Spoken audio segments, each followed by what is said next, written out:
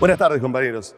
Nos encontramos presentes en este acto socialista e internacionalista y de lucha, mostrando la importancia de la organización de toda la clase trabajadora, aún en estos difíciles momentos.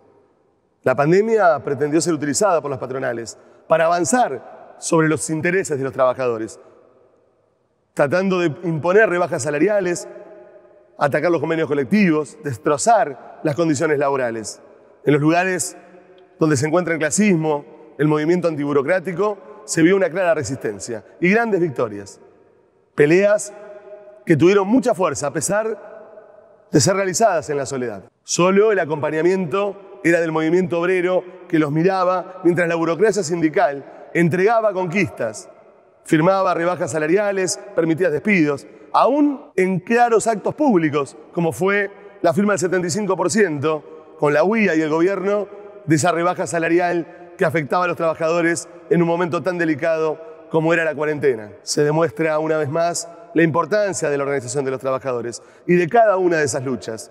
Luchas como claramente tenemos desde los trabajadores vitivinícolas de Mendoza, así como la lucha de los compañeros de la Clínica San Andrés, pasando por esa gigantesca pelea que están dando, con días y días de huelga y piquete de los compañeros de la salud de Neuquén. Entendemos claramente que cada uno de esos ejemplos le da fuerza al movimiento obrero. Desde el Sindicato del Neumático venimos de cerrar hace pocos días una paritaria de 54%, con una cláusula que asegura 5 puntos por arriba de la inflación, entendiendo con claridad que se tiene que dar de la mano necesariamente de la pelea por los protocolos obreros para defender la salud de los trabajadores y la pelea por cada uno de los intereses de los compañeros en su puesto de trabajo, la defensa de los convenios colectivos y de las condiciones laborales, frenando cada intento de ataque de las patronales.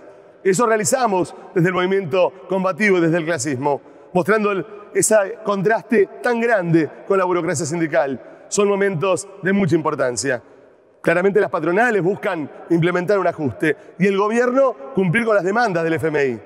Por eso entendemos que podemos confiar solo en los intereses de la clase trabajadora llevado adelante por la organización de los trabajadores. Llamamos a todos los compañeros a organizarse, a expulsar la burocracia sindical de cada uno de los sindicatos, a tener conducciones que realmente sean de los trabajadores y luchen por los intereses de los trabajadores. Decimos que en estos momentos lo más importante es la unidad, la lucha y la actuación activa y consciente de cada uno de los compañeros. Viva compañeros en este día, el primero de mayo. Viva la lucha de la clase trabajadora. Viva la coordinadora sindical clasista. Viva el Partido Obrero. Compañeros, viva la clase trabajadora.